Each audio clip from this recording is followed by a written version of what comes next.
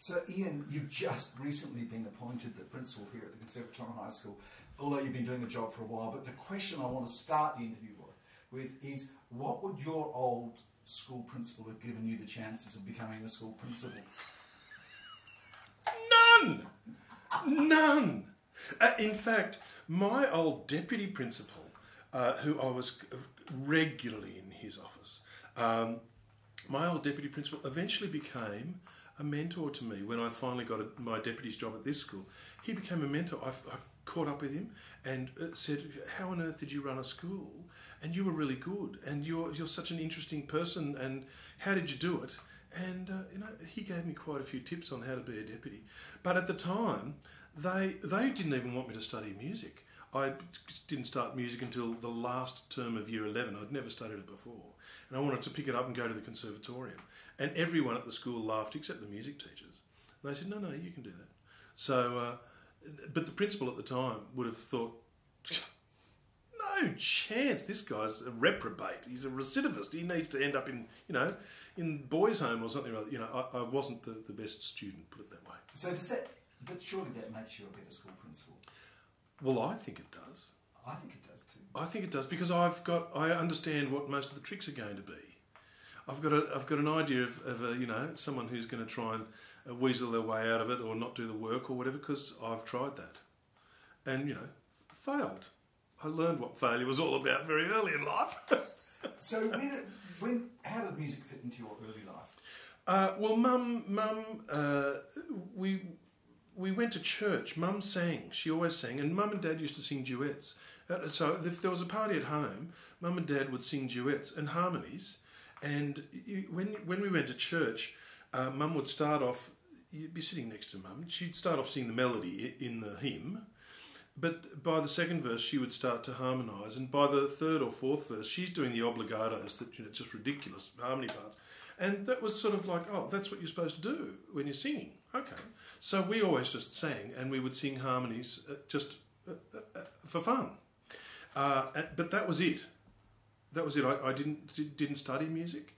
Mum, did, mum, did they listen to music at home?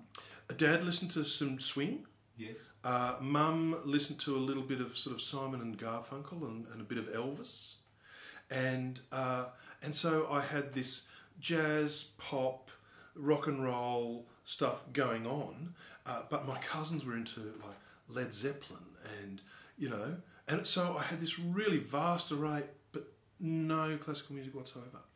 And it wasn't until um, I was at, at, the end of high school, uh, or the end of year 11, I did a school musical. And I was walking across the stage, at, uh, across the, the playground at school, and the guy who was directing the show was fiddling on the roof. He was directing the show, he was walking the other way, and I thought, oh, for a gag, for a laugh. I went, if I were a rich man, the other, and kept walking, you know. And I didn't go for the audition. Uh, and anyway, the guys who did go for the audition were sent down by him to collect me from the playground and have me come up and audition. And I got the part, and uh, that was the beginning of my musical experience. Apart from the very, very casual stuff, and I, I you know, the the the band director at school was Brian McGuinness. Uh, the music teachers were Marion Ansterson and uh, Katrina Stafford, and they were all incredible music teachers, just phenomenal. And my experience was so good. I loved it so much that I thought, well, I want to do what they do. They've just given me the chance of a lifetime. So, so was it the musical that actually really focused you on music, or was it something beforehand? Uh, it was the musical that really focused me. Because music wasn't something that you did apart from it being a casual, fun thing. Hmm. So we sang. We sang, you know, we made up harmonies to songs. You sang in church. You sang uh, you know, for fun. You at parties, you would sing. You know, I had to start singing when Dad decided he wasn't going to sing harmonies with Mum. You know, there's a hole in the bucket or whatever. You know, I'd have to sing the other parts. You know, because that's how it was. But that was all just for fun. So you didn't play a musical instrument. No. So when did the guitar? Arrive? Well, I started playing the guitar once I, I decided I wanted to go to the conservatorium. I, I played a few songs and learned to play some of the Paul Simon and that Simon and Garfunkel and stuff and got into got into that because I needed to do something. Uh, uh, that was you know late high school. And you came to the conservatorium. Yeah. Tell us about the audition. I mean, you weren't exactly over prepared. well, but, but so, so the funny thing is, I couldn't do music on my timetable uh, at school because I was doing engineering science and physics and chemistry and 300 maths. I was going to be an engineer. And so I dropped engineering science to take up music, but it wasn't on the timetable uh, at the time. So the music teachers vouched for me. The principal and the deputy principal thought it was a, a complete joke that I was a joke and I shouldn't be doing this. But the music teachers vouched for me and said they'd help me with the music uh, and I would study music in my own time. So I sat in the corridors and sang songs and played the guitar, and then had lessons after school with the music teachers, and they helped me. And the, the, the head of music at the school, Katrina Stafford, learnt piano from Sverjensky here. She was a phenomenon. And so they selected my repertoire. I did Fiddler on the Roof, I did If I Were a Rich Man, but I also did the Erl King. Now, I didn't know that I shouldn't be singing a song like that at 16. So I'd sang the Erl King for the HSC and Fiddle on the Roof and, and uh, some Mendelssohn and something or other else. You know, this great repertoire that I knew nothing about, but they were beautiful songs. But the teachers helped me select them. So then they said, right, so when you go to the con, you'll do those same pieces for your audition, except maybe not this one, and do this one instead. And of course, Katrina Stafford, a phenomenal piano player, wonderful musician, um, she accompanied me for my auditions and things. And I turn up to the con, and my vocal audition, because I auditioned as a singer, but I wanted to be a music teacher. So I turn up and they say, "So why are you here at the uh, at the music education um, uh, interview?" Uh, and most people who were there said, "Well, I don't know that I'll get into the performance course, so I'm doing this as a backstop so I can transfer." And I walked in and said, "I want to be a music teacher. I can't wait. This is fantastic. I've had the best music teachers you could imagine. I want to do what they do. It's unreal." And they're like, "Right, you're in," you know. and my oral, my ear was good but I couldn't read notation. I couldn't read a jot of music. And so I get into first year, and John Terry was my oral teacher. And I was in the lowest oral class, and I was worse than useless, except my ear was good, uh, but I couldn't write a note. I didn't even understand the stave properly. And he, uh, he, in six months, he taught me just in you know classes each week, and I went from being in the lowest class to the second top, top class because uh, I actually started to understand it. I was taught what I needed to do. I did music one, the easiest music at, the high, at high school. And so here I am at the con with people who could sight read and just phenomenal musicians. And I was this pretender. but I wanted to be a music teacher. So you studied singing here? Yes. And you did a bit of clarinet as well? Uh, no, I did a little bit of. Um, oh well, actually, we had to do a little bit of uh, everything. Everything. Bit of woodwind, bit of brass, and I chose the instruments that were the e- most easily transportable if I had to carry them home. Uh, so. Uh, you know, I did clarinet for you know a term. Uh, I did trumpet for a term. I did double bass because you couldn't take that home at all, so you just left it at, at the con. So that was you know I didn't have to carry that on the bus. So yeah, I did a little bit of all of that because you had to. Uh, but I didn't. I, I, could couldn't read music onto an instrument. It was beyond me, uh, and I only learned to read through studying here at the con. Yeah. So you finished your music degree. Presumably yeah. you passed. I did. I did. Congratulations. I did. I did pass. I did. Uh, yes. I, you know, most people. My parents laughed when I said I was going to go to the con. Yes. Uh, and a lot of people didn't think I, I should. Yes. Because I didn't have any of the prerequisites. Yes. Except the passion, mm. the love of music, and I could sing, mm. and uh, my ear was pretty good. I could make yes. up harmonies to just about anything on the spot. Uh, and you know, with Judy Bailey doing a jazz unit, you know, we'd stand in a circle and she'd make us swap fours, and I was in seventh heaven. You know, that was great.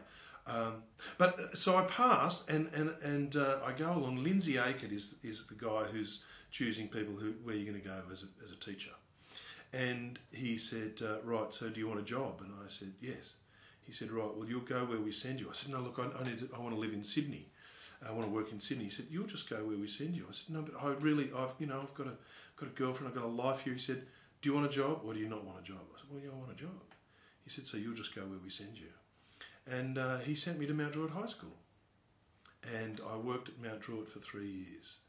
And it was the best thing that could have happened to me. So tell me about day one at Mount Druitt High School. For those people who don't know, it's, it's an area with a bit of an attitude inside, Yeah, look, uh, at the time, uh, the demographic was was pretty tough, um, and there was a lack of care for education.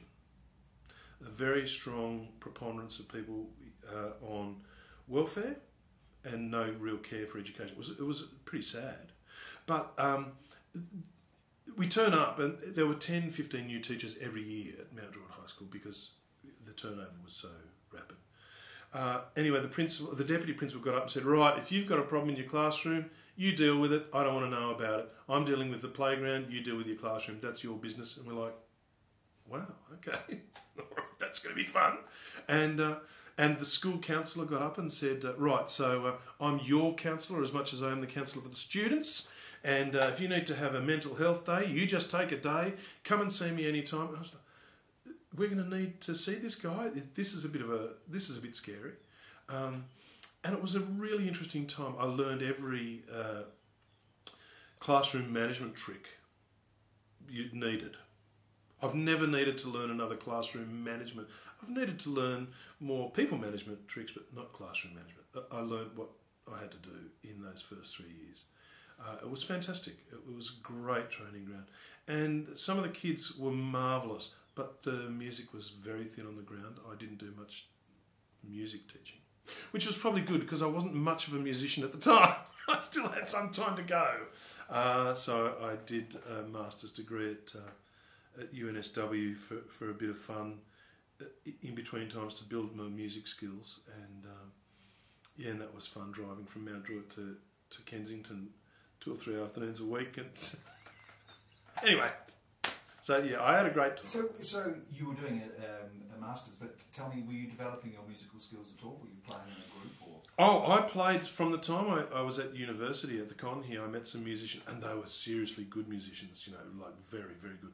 One guy could play all any fretted stringed instrument you put in yes. front of him. Another guy could play keys and oboe and whistles and stuff. I was in a folk band. Yes. And I, in fact, I still make music with one of those guys, Michael Spencer. Yes. Uh, you know, thirty-five, whatever it is, years later. Uh, yeah, we played. We played in in um, all over the place, all over New South Wales, all over Sydney, festivals, clubs, the national festival. We supported international acts and all that sort of stuff. So I was making music. I was singing. I was playing guitar and bouzouki and that sort of stuff, and singing. Uh, and so I was making music, but not of the not of the variety that would appear in many classrooms in, in high schools. Yes. But that was all right. I mean, yeah.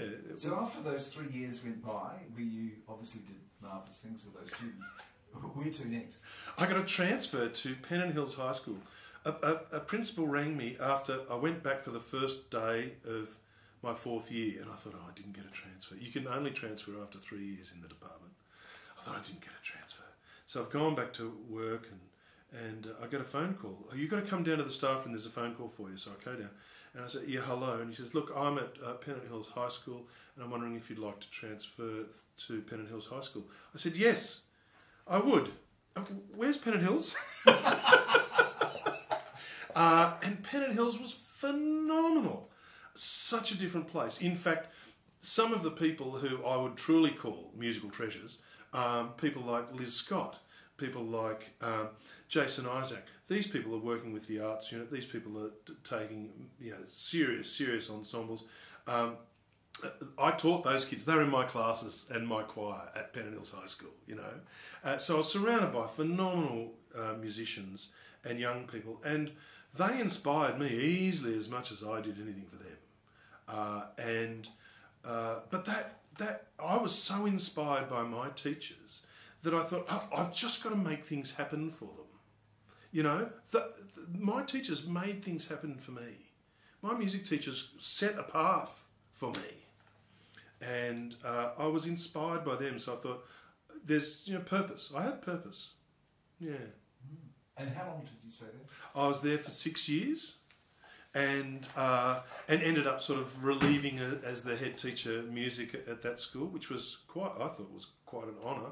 Uh, an amazing uh, place with great uh, young musicians, and I'm still in contact with quite a few of those people. Um, some of the staff, but uh, quite a number of the students, and you know their colleagues.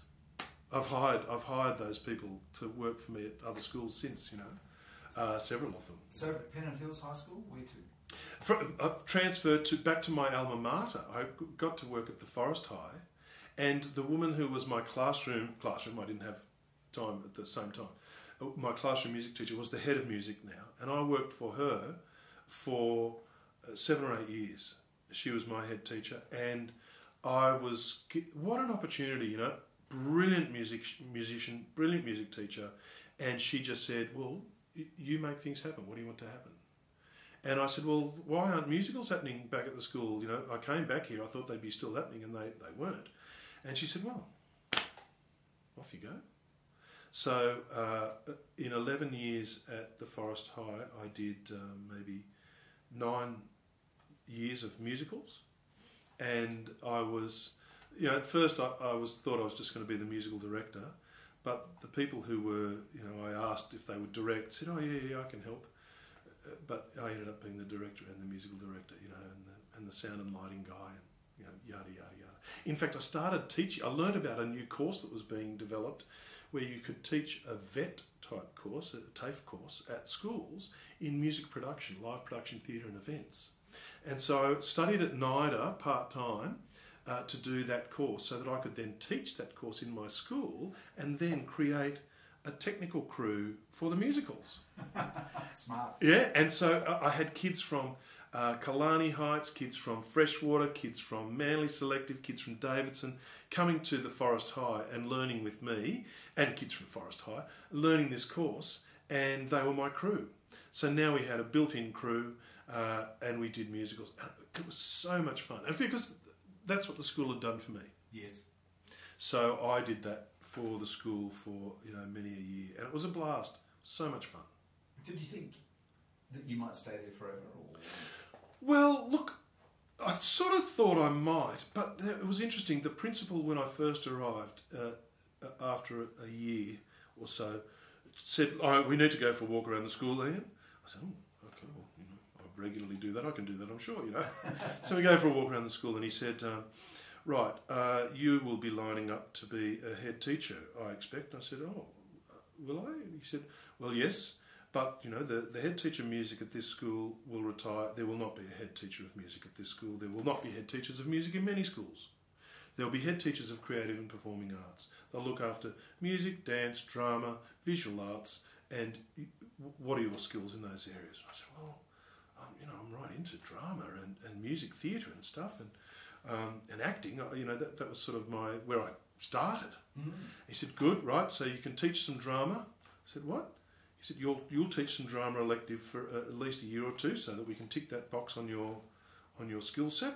And um, what's your second subject? I said, "Oh well, theoretically it's history, right? You'll teach some history." Uh, and so I then taught drama and history and a few other bits and pieces, and did did these different things so that he said. You will be able to apply for a job here or somewhere else, but as a creative and performing arts head teacher. And uh, in fact, the head teacher of visual arts, he, uh, on his untimely death, he retired. his untimely death. Uh, the head of music, she retired, and um, the position arose in the school. So I applied and got the position as head teacher at that school, and it was a blast because by then I was doing, I was running the musicals, I was directing them, I was teaching the theatre and performance, uh, uh, live production theatre and events course, and teaching music. And you know, it, I, I- had the time of my life. Uh, and now I was a head teacher, and uh, I never thought I would be a deputy. I, ne- I thought "Ah, that's it. I'm I'm here for, for good.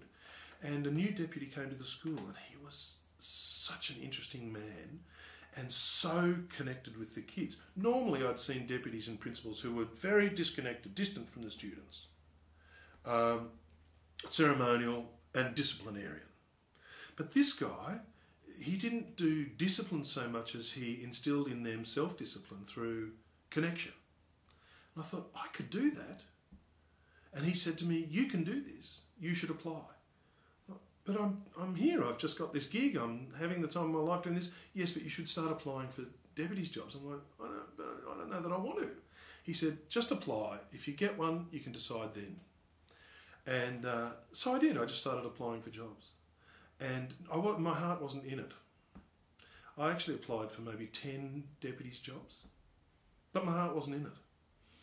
Uh, and then the deputies' job came up at Conservatorium High School, and all of a sudden my heart was in it.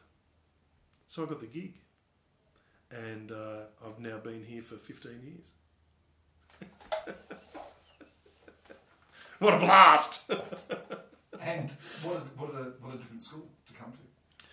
How did you find the Conservatorium High School? Because you, you haven't been an ex-student. No. It's a very different school, isn't it? It most certainly is. And look, this was, uh, I, I, uh, as you can probably tell from my manner, I have quite a, a reasonably healthy ego. I like to think I'm pretty good, you know. Uh, but I had always been a little bit of a pretender, a bit of a, uh, um, I don't know, a ring in Yes. in in the music world because I c- couldn't read onto an instrument. Still couldn't. I could sight sing by now, uh, and I played a few instruments, but I couldn't read onto them. Uh, and here I am turning up at the Conservatorium of Music, and I had some friends at the con who came through the high school, and they were phenomenal. And so I turn up here, and uh, I had what would probably be the most humbling experience uh, humiliating is probably a better word, but humbling experience. That uh, every child at the school was better than me at the thing at which I claimed to be an expert. And this was very good for me. this was really good for me. So, so when you went home in the evening, what went through your mind? I've got to be better. I have, uh, I believe, I could be wrong, but uh, people have said this that I tend to be a, a, a people person, and that's sort of my métier is people, uh, and maybe words, but people, connecting with people. So that side of the job, I was into. I was fine. I had no qualms, but every day uh, I was teaching a little bit of music, and I wasn't up to it in some respects. That was good in one respect because it meant that I was able to say to anyone else who was like me, hey, look, you're a bit like me. We're not as good as the kids are at this. What can we do to make sure that whatever we're doing is actually helping them, not just, you know, a lid, a cap on their, a lid, a lid on their talent? Uh, and that was that was a really good thing for me to experience. It's also pushed me to start to learn to play uh, the mandolin. I decided I wanted to play. I already play fretted strings. I wanted to play something that gave me an opportunity to play some serious classical repertoire. I've never played classical repertoire on an instrument, and so I thought the mandolin and maybe the mandola, the mandolin tuned like a violin, mandola tuned like a viola. I could play the cello suites, maybe I could play the eventually maybe the violin sonatas and partitas by Bach. So and I love Bach. I, you know, my music teachers when I was sixteen played me some Bach and changed my world. And so I've started learning the, the first cello suite on the mandola, and I'm learning an instrument, learning to play classical music on an instrument.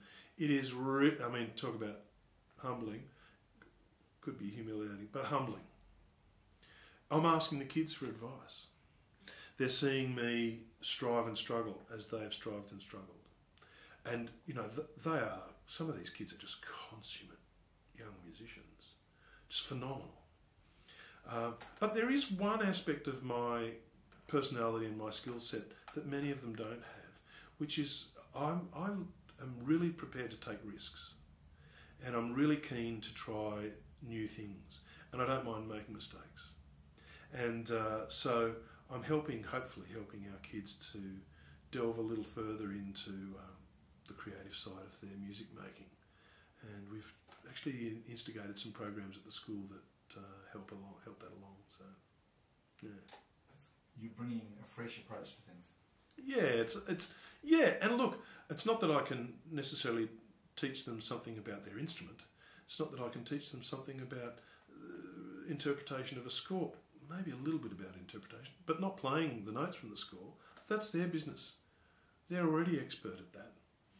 But you know, why do you play that phrase softly? Because my teacher told me to. Oh, that's a good reason. Okay, but why? You know, where, where's you in this performance? And I mean, these kids go. You give them a moment, they're like, "You mean I could do it myself? You know, I could try something different."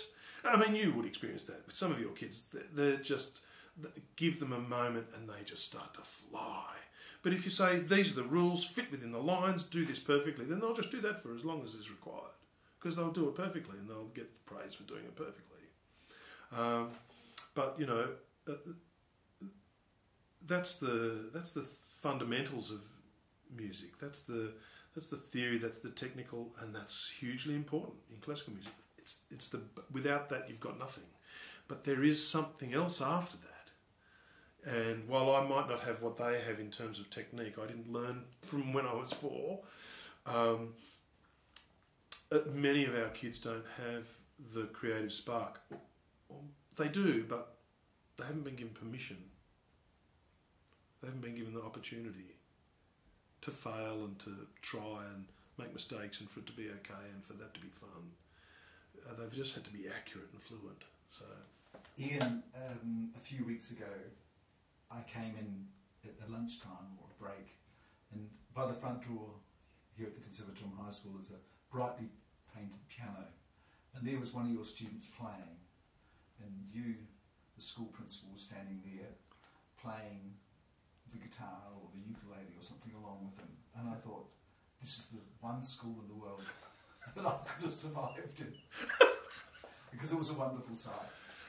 It, it, is the now. I mean, I was taken aback. A student in year last year in year eleven, uh, JJ, said, "I want to hold some student concerts. I want the students to run their own concerts." I said, "That's fantastic! What a great idea! Let's do that. When do you want to do it?" And we made a time, and he, they just did it, and they just started having concerts. And then uh, JJ said to me, "Would you, you you sing jazz? I play jazz. Would you sing a few songs with me?" I'm like, "Yeah, that'd be great."